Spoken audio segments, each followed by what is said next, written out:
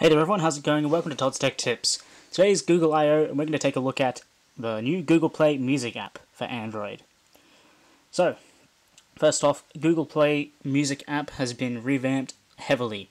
We've got about three main features here. We've got the brand new design, we've got instant mixes, we've got the shop integration, and I guess one more, we have now an option to uh, for streaming and subscription music. So that's Google's answer to Spotify.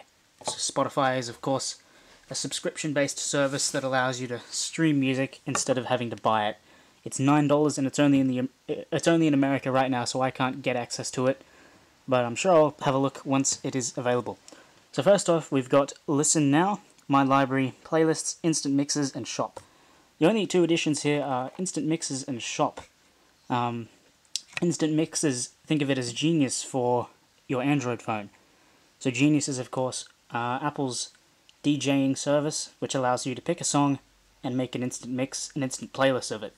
So songs that the phone thinks go well with the song you choose. So if we go to listen now, well, I'll pick an artist here. I'll pick Blackmill, who's a fellow YouTuber. First off, the new artist viewer, we have a cover photo for the artist, the artist itself, and the songs. Well, the album itself, sorry. And the cover, I'm sure, will get bigger if I were to click on it and there were to be a photo there. So if we go back again, I'll show you the player. Tap on a song and it slides right up. This is a bit different, of course, from the white background and the sliding up motion, which is still pretty smooth on the old Galaxy Nexus.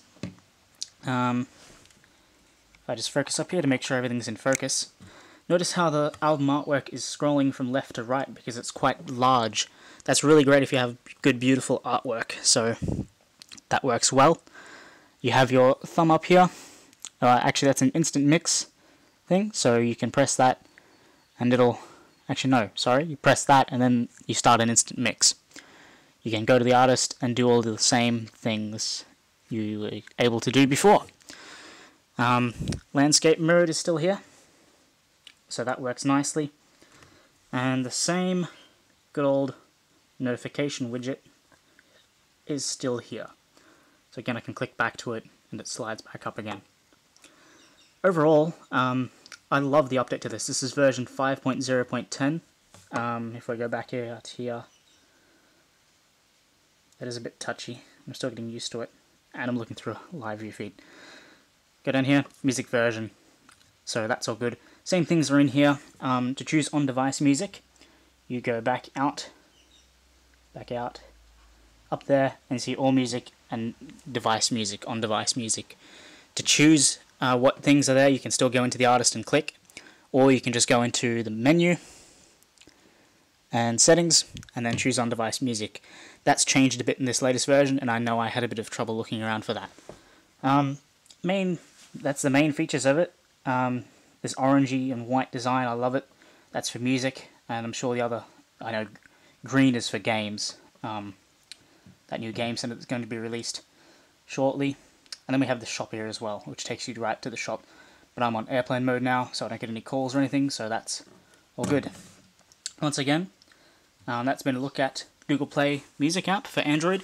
This is available for every device running Android 4.0, so it's Ice Cream Sandwich.